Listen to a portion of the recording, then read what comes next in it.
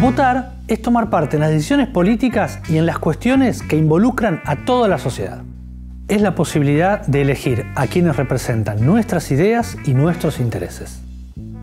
Pero, ¿por qué es obligatorio?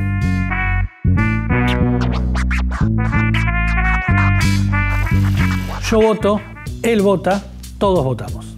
En nuestro país, el voto es obligatorio para todos, excepto para los que tienen entre 16 y 17 años y los mayores de 70 para quienes es optativo. Pero no siempre fue así. En 1853 solo los hombres votaban y se hacía a viva voz, o sea, se paraban frente a la mesa y decían por quién querían votar. Esto condicionaba al votante y el fraude electoral era una práctica bastante común.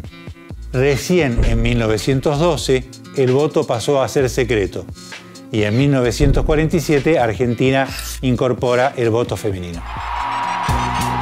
Universal, secreto y obligatorio.